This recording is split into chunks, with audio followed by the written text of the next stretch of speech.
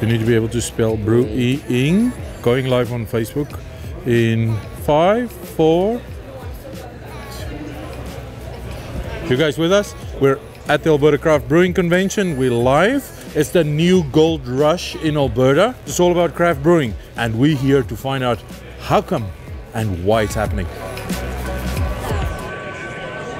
Alberta is exploding with craft brewers. In the rest of America, it's no longer beer and skittles for craft brewers. The business is getting a little harder. We have a lot of room to grow. Alberta has a lot of room to grow just in craft.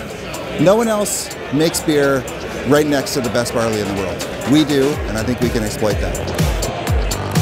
Without the barley producers, we don't have malt, the brewers don't have beer. We really believe that craft is part of the future of brewing. It's here to stay. And just as much as we love our export customers and our big guys, we love our craft customers too.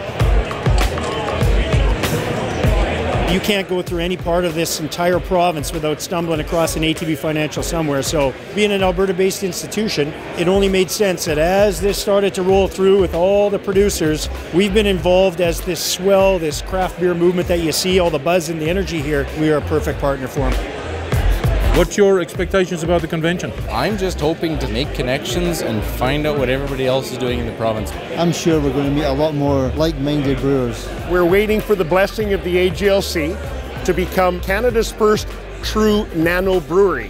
How does it feel to be around all these youngsters? The beer is in the beard. I love that. we are looking for guys with beards. Well, you found one. We hate shaving. Yeah, it's too much work.